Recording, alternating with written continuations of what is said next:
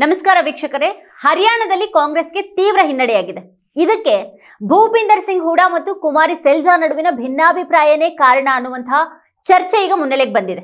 ದಶಕದ ಬಳಿಕ ಅಧಿಕಾರಕ್ಕೆ ಮರಳುವಂತಹ ಕಾಂಗ್ರೆಸ್ ನಿರೀಕ್ಷೆ ಈ ಫಲಿತಾಂಶದಿಂದಾಗಿ ಸುಳ್ಳಾಗ್ಬಿಟ್ಟಿದೆ.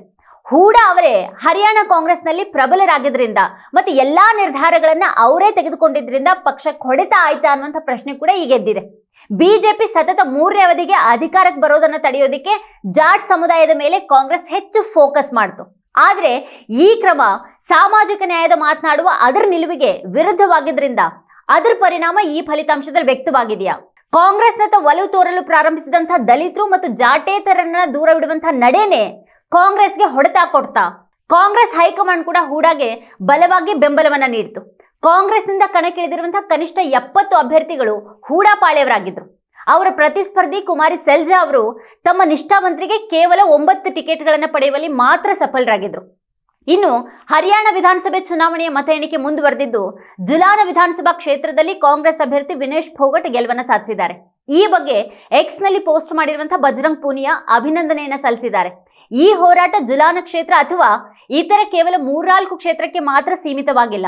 ಇದು ಪಕ್ಷಗಳ ನಡುವಿನ ಹೋರಾಟ ಮಾತ್ರ ಅಲ್ಲ. ಈ ಹೋರಾಟ ದೇಶದ ಪ್ರಬಲ ದಮನಕಾರಿ ಶಕ್ತಿಗಳ ವಿರುದ್ಧವಾಗಿತ್ತು ಮತ್ತು ವಿನೇಶ್ ವಿಜಯಶಾಲಿಯಾಗಿ ಹೊರಹೊಮ್ಮಿದ್ದಾರೆ ಅಂತ ಹೇಳಿದ್ದಾರೆ. ಚುನಾವಣಾ ಆಯೋಗದ ಅಂಕಿಅಂಶಗಳ ಪ್ರಕಾರ ಜುಲಾನ ಕ್ಷೇತ್ರದಲ್ಲಿ ಬಿಜೆಪಿ ಅಭ್ಯರ್ಥಿ ಯೋಗೇಶ್ ಕುಮಾರ್ ವಿರುದ್ಧ ವಿನೇಶ್ ಫೋಗಟ್ ಐದು ಸಾವಿರಕ್ಕೂ ಅಧಿಕ ಮತಗಳ ಮುನ್ನಡೆಯನ್ನು ಸಾಧಿಸಿದ್ದಾರೆ.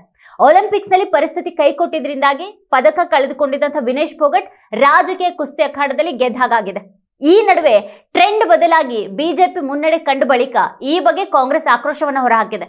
ಕಾಂಗ್ರೆಸ್ ಪ್ರಧಾನ ಕಾರ್ಯದರ್ಶಿ ಜೈರಾಮ್ ರಮೇಶ್, ನಾವು ನಿಲುವಳಿ ಪತ್ರವನ್ನ ಚುನಾವಣಾ ಆಯೋಗಕ್ಕೆ ಸಲ್ಲಿಸಿ ದೂರನ್ನ ನೀಡ್ತೀವಿ. ನಮ್ಮ ಸಂದೇಹ ಪ್ರಶ್ನೆಗಳಿಗೆ ಚುನಾವಣಾ ಆಯೋಗ ಉತ್ತರಿಸುತ್ತೆ ಅಂತ ಭಾವಿಸ್ತೀವಿ ಅಂತ ಹೇಳಿದ್ದಾರೆ.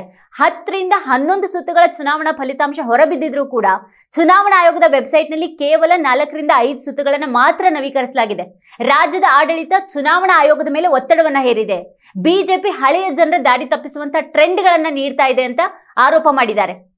ಇನ್ನು ಜಮ್ಮು ಮತ್ತು ಕಾಶ್ಮೀರ ವಿಧಾನಸಭಾ ಚುನಾವಣೆಯಲ್ಲಿ ಕಾಂಗ್ರೆಸ್, ಎನ್ಸಿ ಮೈತ್ರಿ ಗೆಲುವಿನತ್ತ ಸಾಗಿದೆ.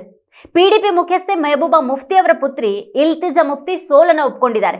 ಅವರು ಐದು ಸಾವಿರಕ್ಕೂ ಹೆಚ್ಚು ಮತಗಳಿಂದ ಪರಾಭವಗೊಂಡಿದ್ದಾರೆ. ಜನರ ತೀರ್ಪನ್ನ ಸ್ವೀಕಾರ ಮಾಡ್ತೀನಿ. ಬಿಲ್ಬೆಹರಾದಲ್ಲಿ ನಾನು ಜನರಿಂದ ಸ್ವೀಕರಿಸಿರುವಂತಹ ಪ್ರೀತಿ ಮತ್ತು ಅಕ್ಕರೆ ಯಾವತ್ತೂ ಕೂಡ ನನ್ನ ನೆನಪಿನಲ್ಲಿರುತ್ತೆ. ಇಡೀ ಚುನಾವಣಾ ಪ್ರಚಾರದಲ್ಲಿ ಕಠಿಣ ಪರಿಶ್ರಮವನ್ನು ಹಾಕದಂತಹ ಪಿಡಿಪಿ ಕಾರ್ಯಕರ್ತರಿಗೆ ಧನ್ಯವಾದ ಸಲ್ಲಿಸ್ತೀನಿ ಅಂತ ಇದೇ ಪ್ರಥಮ ಬಾರಿಗೆ ಚುನಾವಣಾ ಕಣಕ್ಕಿಳಿದಿದ್ದಂಥ ಇಲ್ತಿಜಾ ಮುಫ್ತಿ ಅವರು ಹೇಳಿದ್ದಾರೆ. ಇನ್ನು ಎರಡು ರಾಜ್ಯಗಳಲ್ಲಿನ ಮತ ಎಣಿಕೆ ಹಿನ್ನೆಲೆಯಲ್ಲಿ ಇತ್ತೀಚಿನ ಅಪ್ಡೇಟ್ ಅನ್ನು ನಾವಿಲ್ಲಿ ಗಮನಿಸೋದಾದ್ರೆ, ಹರಿಯಾಣದಲ್ಲಿ ಬಿಜೆಪಿ ನಲವತ್ತೊಂಬತ್ತು ಮ್ಯಾಜಿಕ್ ಸಂಖ್ಯೆಯನ್ನ ದಾಟಿ ಮುನ್ನುಗ್ಗಿದೆ.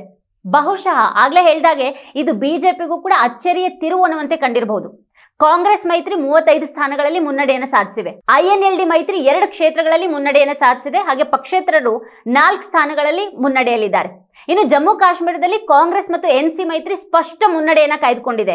ಕಾಂಗ್ರೆಸ್ ಪ್ಲಸ್ ಎನ್ಸಿ ಐವತ್ತೆರಡು ಹಾಗೆ ಬಿಜೆಪಿ ಇಪ್ಪತ್ತೇಳು ಕ್ಷೇತ್ರಗಳಲ್ಲಿ ಮುನ್ನಡೆಯಲ್ಲಿವೆ. ಪಿಡಿಪಿ ಎರಡು ಕ್ಷೇತ್ರಗಳಲ್ಲಿ ಮಾತ್ರನೇ ಮುನ್ನಡೆಯಲ್ಲಿದೆ. ಪಕ್ಷೇತರರು ಎಂಟು ಸ್ಥಾನಗಳಲ್ಲಿ ಮುನ್ನಡೆಯನ್ನ ಕಾಯ್ದುಕೊಂಡಿದ್ದಾರೆ.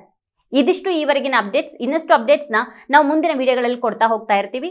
ನೋಡ್ತಾ ಇರಿ ವಾರ್ತಾ ಭಾರತಿ. ನೀವಿನ್ನೂ ನಮ್ಮ ಚಾನಲ್ನ ಸಬ್ಸ್ಕ್ರೈಬ್ ಮಾಡಿಲ್ಲ ಅಂತಂದ್ರೆ ಈ ಕೂಡಲೇ ಸಬ್ಸ್ಕ್ರೈಬ್ ಮಾಡಿ, ಹಾಗೆ ಪಕ್ಕದಲ್ಲಿರುವಂಥ ಬೆಲ್ ಪ್ರೆಸ್ ಮಾಡಿ ನಮ್ಮನ್ನು ಬೆಂಬಲಿಸಿ.